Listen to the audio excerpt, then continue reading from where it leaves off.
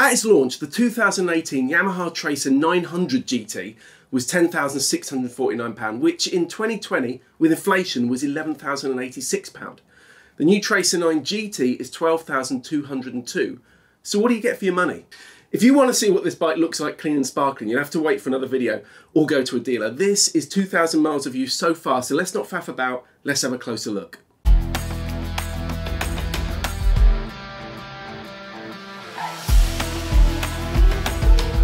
The 2018 model was fitted with Dunlop Sportmax D222s. They didn't get the best reviews from owners, but they were fairly typical OEM tyres made to a Japanese bike manufacturer's budget. Remember, these are often quite different to what you'd buy aftermarket. For 2021 though, Yamaha has put better rubber on as standard and this time gone for Bridgestone T32s, which I found give bags of confidence in the dry and have been perfect in torrential rain too, so it looks like there's less of a special being made for for the bikes now. Usually we swap out tyres on long-term test bikes, but I want to keep these on as nobody's going to buy a new bike and then want to spend another £250 or so replacing the tyres straight away. So let's wait and see how, how they wear. So far, so good. The new wheels uh, are lighter than the previous model, but I'm not going to pretend I can feel that. It should make for more nimble handling, but we'll get to the chassis in a bit. The calipers and discs are pretty much unchanged from the last model, but there is a new radial master cylinder. The brake's fine, but they don't have the initial bite that many modern bikes do, so jumping off a sporting machine like my S1000XR, I feel a little bit soft.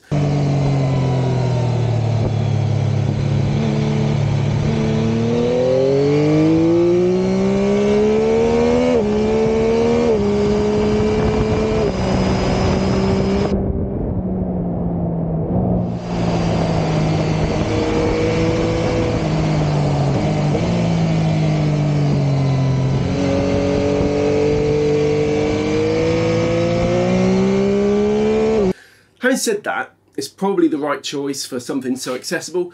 And ironically, when I rode the 2018 model, I commented that the brakes felt a bit sharp at first. I do wish we'd got braided brake lines as standard on this model, um, but what's most important is that there's now cornering ABS, which makes it a lot safer. It doesn't matter how good you think you are, having the ability to fully anchor down mid-turn in an emergency really could make all the difference. So, uh, you know, I'm a fan of cornering ABS. There's also cornering traction control now, lift control, which you can turn off, and slide control.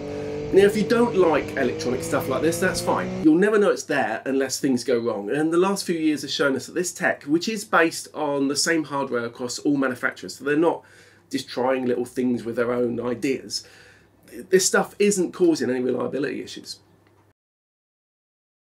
The suspension's another place where the extra expense of the new model goes with semi-active kit from Kayaba on this GT. You've got two modes, one going softer than the other, and you just have to roll off the throttle to quickly switch between the modes.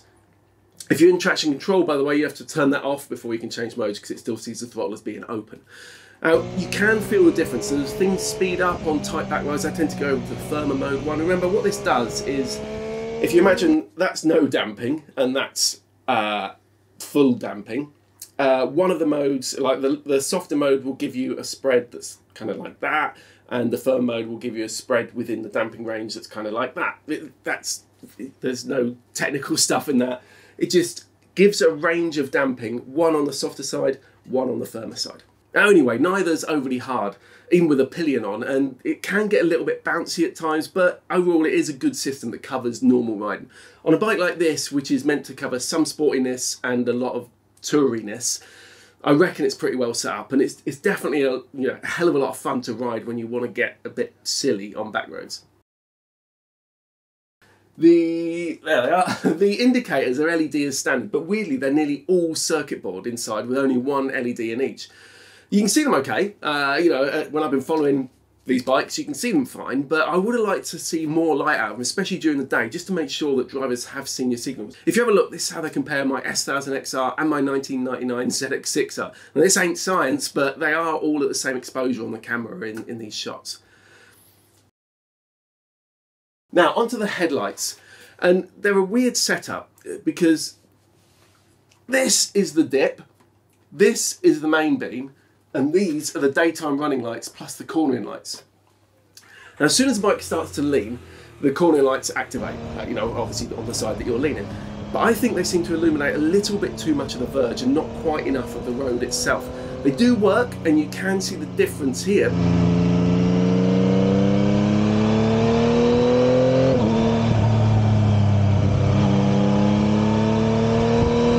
But the biggest issue is that as you approach a corner under braking, the nose dips and the harsh, harsh edge of the LED lights make the bend disappear.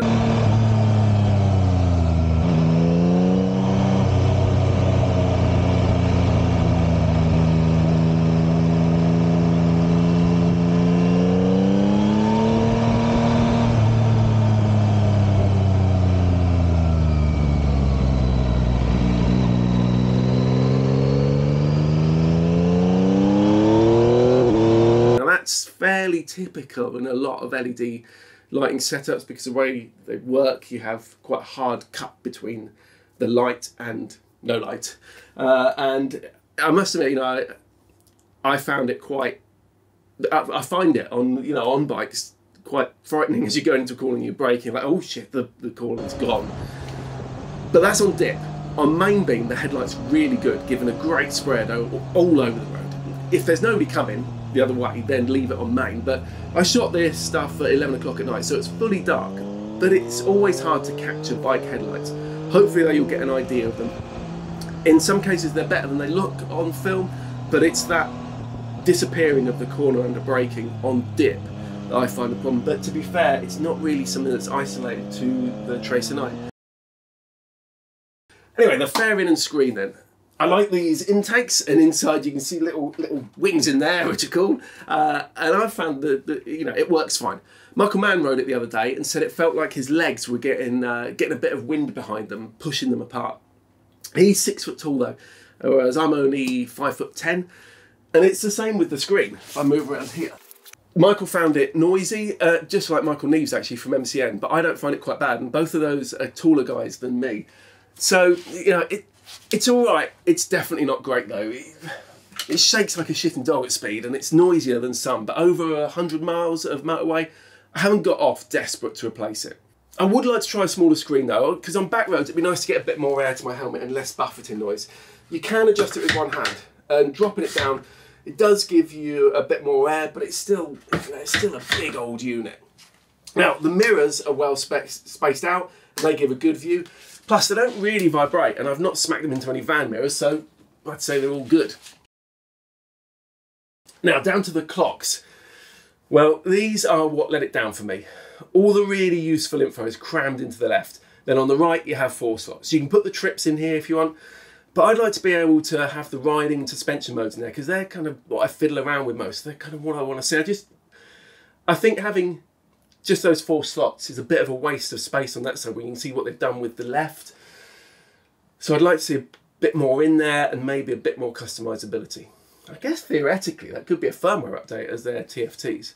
Now the reversed out display is fine to read in bright sunlight, but it can scratch easily. If you if you wipe rain off after the bike's been been sitting, which you it, it doesn't collect rain when you're riding, but if it's got rain sitting on it after being standing still, you kind of need to wipe it because some of the small digits are, are harder to read. You know, if you wipe that rain off, it's really easy to start putting fine scratches in that in that plastic cover. So I've fitted a, uh, an easy grip screen protector on there. Fitting the screen protector wasn't too bad really.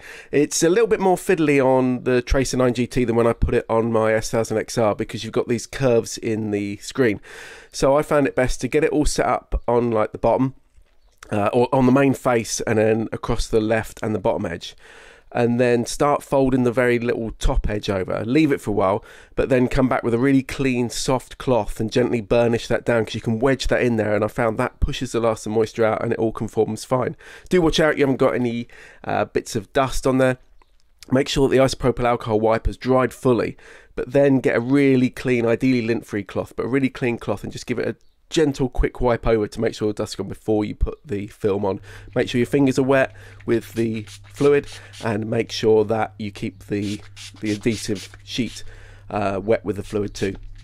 Getting the little top ones in was fiddly because you can't really get your fingers in there, but put plenty of fluid on and then they'll just float into place. You can move them around and then they, you know, gently burnish them uh, and then they'll just dry out. And it doesn't completely cover the scratches that are already there So, but it does make it look a lot better, and there won't be any more. I, I genuinely would recommend you put this on as soon as you get the bike because it does stop those little scratches. And and yeah, this one was sent to me by Easy Grip. I contacted them and said, look, I think it needs it. Can we try it on there? Um, but I before that, I'd actually bought one for my Grom as well because that has the same black screen and that's got scratches on it from cleaning. I genuinely believe this is worth having. Some people don't really get why you'd want to put a screen protector on and on some bikes it's unnecessary but on bikes like this especially with a, like a softish plastic especially with a black backing you can really see those scratches. And BikeSocial members by the way can save 20% on these as well as other big discounts like 15% off at performance parts 10% off at evotech performance and r&g as i shoot this there's 177 deals on there so do make sure you check it out at bikesocial.co.uk I'm testing sat navs at the moment, so the left dash is hidden, but I'm, you know, to be honest, I'm not really missing that much in currently how it's set up. But on that subject, this is one of the few mods I've made so far. The Yamaha SatNav mount, which it is just folded metal, but it costs a hefty £44.70. But it does get the GPS out of the way, so ignore the Garmin we've got there because I'm trying to compare the two and see how, how they both work together. Um, obviously, the Garmin would fit on there instead of the TomTom. Um, but yeah, it gets that GPS out of the way. But trouble is, it makes it, it hard to get to the keys. Oh, and uh, the Tracer Speedo overreads by 9% according to GPS, but interestingly, the mileage seems pretty much spot on. So it's not like the uh, like it's not like directly linked like the cable drives of old.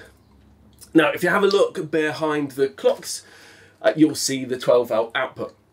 You can get a USB socket from Yamaha for this that you wire in separately. Wiring that in your own accessories is pretty easy. You only have to take this panel off uh, to, to, to get to it. And my wiring's a bit of a mess under here, but that's because I need to take all this stuff off again, so I can't really trim the cables down to suit.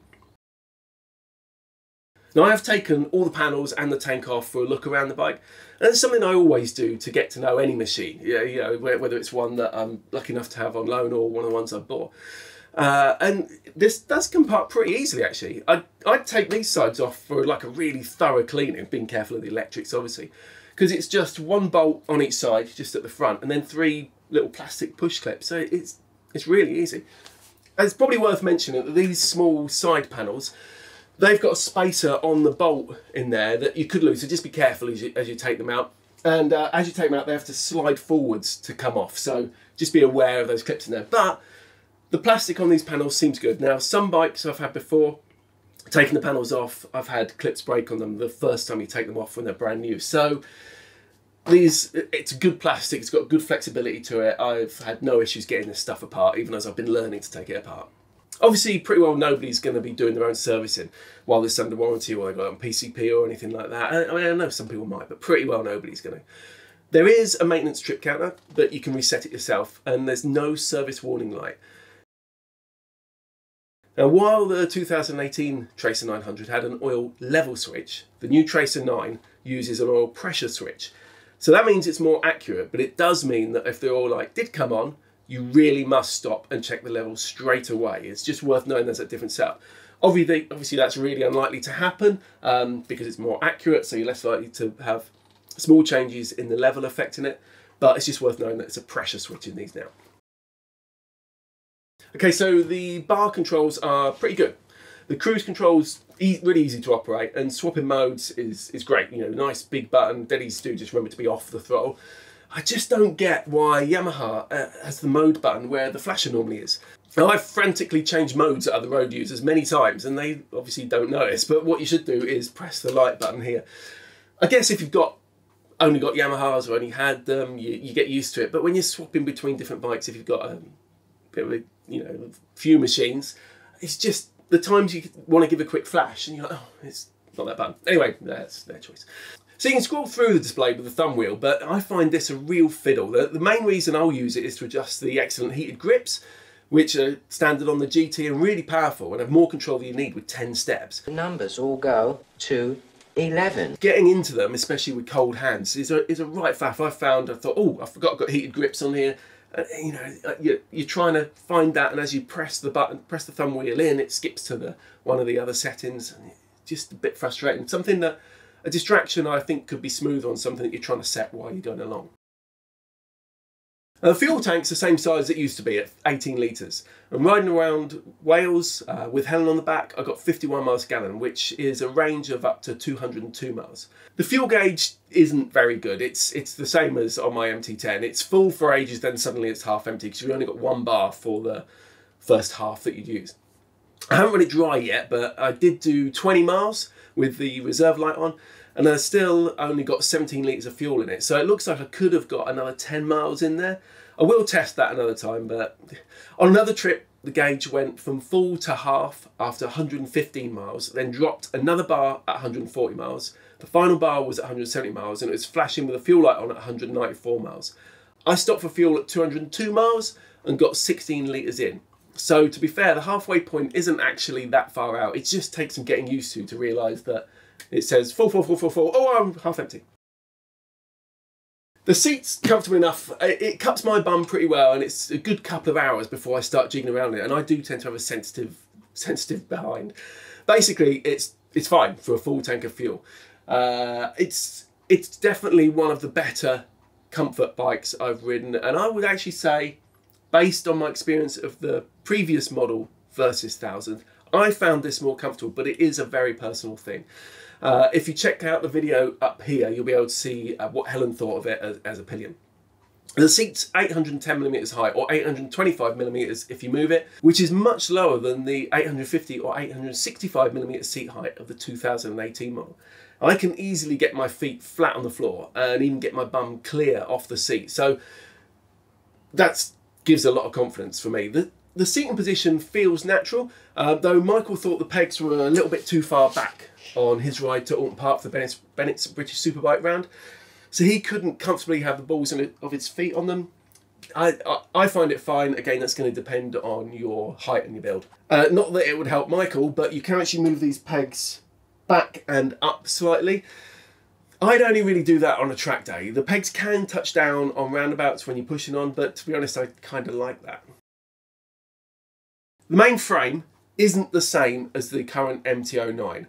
Uh, if you think back, the first Tracer, the MT-09 Tracer, was basically a redressed MT-09.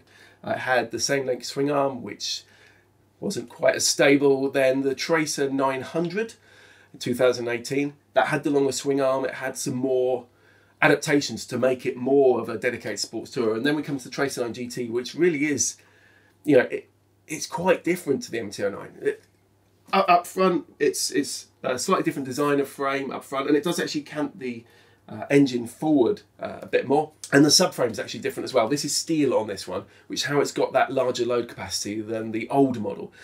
The old one had a maximum of 167 kilograms, and you've got to remember that that includes the rider and pillions weight.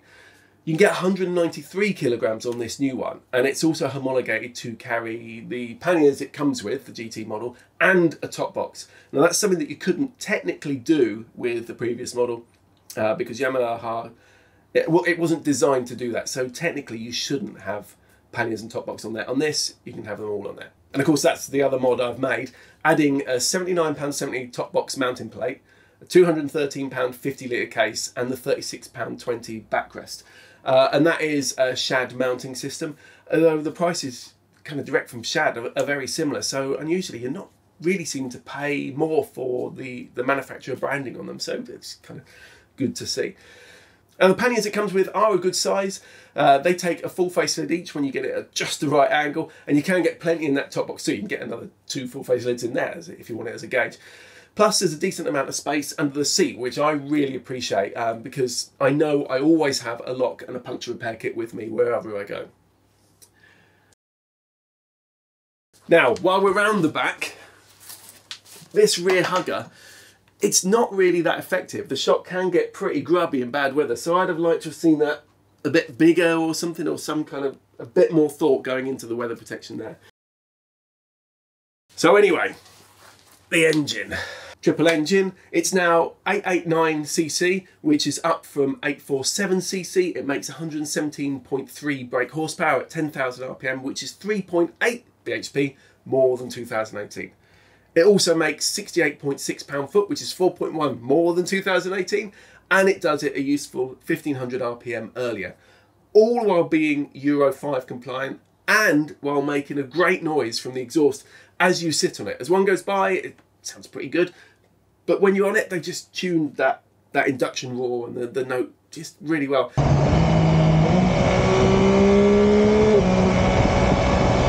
And look, obviously not on this side, but if you have a look at the other side as well, no massive ugly dustbin end can. In fact, no end can at all. The exhaust ports from two outlets underneath. It's it's unusual, and especially when you you know we're used to seeing end cans and seeing them as a, as a feature, but it's it's kind of cool. You can actually get replacement full systems for them. In fact, from Performance Parts, when you can get discounts at bikesocial.co.uk, uh, you can get a full system for this um, which obviously puts an end can back on it. But you know, as it is, it's it's a good setup. And some people reckon that a triple's the best of an inline four and a, and, and of a, V twin, but then others think they're just a compromise that isn't as good as either. And this one does sound great, and it's got so much drive out of corners and roundabouts. It, it just feels really rapid. You know, bear in mind I'm coming from that 165 brake horsepower S1000 XR, which are obviously a four cylinder. The drive out corners in it, uh, it's really took me by surprise, especially coming out of roundabouts sometimes. oh, you know, you really get you really get excited riding with it. And it's got that punch you want for a road bike, rather than the more peaky feel you can sometimes get from a four. It hasn't got the character of a V twin, but then it's also not as lumpy. On the other hand, it's a little bit gruff for long motorway journeys. It's not it's not horrible, but if you're the kind of rider doing these trips almost all the time, you might want something just a little bit smoother, like a four where it just purrs along. Don't take that as too much of a criticism. You know, again, I've done a lot of motorway stuff on this quite recently, and I've certainly not gone. Oh, I wish I wasn't taking this. It, yeah, it it works. It's it's it's very very. It is. It's a good compromise between them. I, I feel like I'm trying to justify something here. I'm not. I like a really, I, I kind of like extremes of engines, which in my head I keep thinking, oh, no, but a V twin, and then like you spend the day with it, and you're like, mm. The point is, for the more bendy roads, you know, when you're doing sports touring stuff, motorways aren't where most people want to spend most of the time. You might have to use a motorway to get somewhere, and that's fine. You're certainly not going to regret being on this on the way there in any stretch of your imagination. Um, but you know, what this is made for, and what most of us surely enjoy, is that exploring bends and, and you know, sweeping roads and beautiful scenery, and, and it's brilliant. It's brilliant. Gearbox, very good. You know, the, the up and down quick shifter, it, it's great to have not just for the sound and, and the fun of it, but because it makes, does make for a smoother ride for your pillion. There's a slightly longer throw on the lever than my super tight S1000 XR, but it's still it's still satisfyingly easy to use. My only problem with it is that a few times I've somehow messed up the change, uh, and the lever just just wouldn't move. So I have to take my foot clean off and use the clutch to knock it down again. I think that's just the way I've been doing it, and maybe it's maybe I'm not giving my foot enough travel between between changes. It's not something I've done on my BMW, um, but you know, it's it's it has been frustrating a couple of times when you kind of on it a bit uh, and you go to change down, it doesn't. On a road bike, really, it's not an issue. On a race bike, you might complain or maybe change the way I ride. So after two months and 2,000 miles, what do I think so far? Well, almost every part of this bike is very, very good. If not outstanding, if not something that makes you go, oh, oh my God, that's the best thing I've ever had. But it all comes together to make something that's so incredibly easy to ride however you want to ride it that it's just really hard not to recommend it. It's this package that becomes something incredible. I can think of bikes, you know, I've had 20, 21, a, a lot of bikes over the years, and I can think of, like my Monster S4R, I think of that engine that was just incredible, outstandingly incredible but the rest of it was horrible to ride. You know, I can think of things on my XR that I think those brakes are outstanding, but then there's other bits I find the bike quite big, quite bulky, quite hard to manage. Everything's very good on here. In fact, it's only the clocks that the, the shape of the clocks that I uh, the one thing I say I don't like that. This bike is fast when you want it to be, but it's not intimidating. It's big enough to carry a pillion and a decent amount of luggage, but it's really easy to handle. And given its spec, while it's far from cheap, it does actually compare very well with the competition. Now I've got some videos with the likes of the Versys 1000 coming up, but what do you think? If you've bought one of these, I'd really like to hear how you're getting on with it. So let, let me know in the comments below. So do make sure you check out bikesocial.co.uk because we have got so many reviews on there, so much advice, so much touring and features and everything, but also hundreds of discounts, deals, offers, competitions. So check it out. Hit subscribe. If you like this video, please hit like. If you didn't like it, hit the unlike button twice just to be sure. And I'll see you again soon.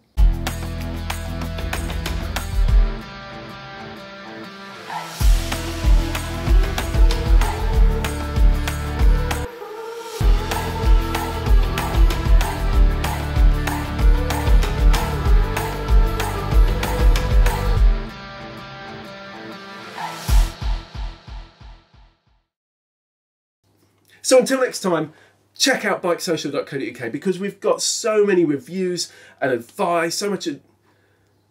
So until next time, do make sure you check out bikesocial.co.uk. So until next time, do make sure you check out bikesocial.co.uk because we've got so many reviews on there, so much advice and touring and everything on there, but also hundreds of rewards. So do make sure you check out bikesocial.co.uk because we've got so many reviews on there, so much advice and touring and, and features. But also we've got so many offers and discounts and deals and competitions. So check it out. Until then, hit subscribe. So do check it. So do make sure you check out bikesocial.co.uk because we have got so much. Fuck me.